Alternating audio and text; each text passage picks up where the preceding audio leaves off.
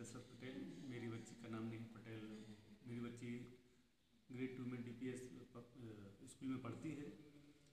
इस बार चूँकि कोरोना का प्रभाव ज़्यादा था तो वो क्लास तो ऑनलाइन लगी नहीं, वो ऑफलाइन लगी नहीं। ऑनलाइन क्लासों से भी शिक्षकों ने इतना सहयोग किया बच्चे का कि काफ़ी विकास हुआ। और एक और प्रॉफिट ये भी रहा कि ऑनलाइन क्लासों की वजह से कि बच्चे डिजिटल टेक्नोलॉजी की तरफ़ अग्रसर हुए, उन्हें उसकी जानकारी भी लगी और काफ़ी सहयोग रहा शिक्षकों का। बच्चे भी अच्छे से अध्ययन कर पाए। डीपीएस पब्लिक का जो माहौल रहा, वो भी अच्छा है।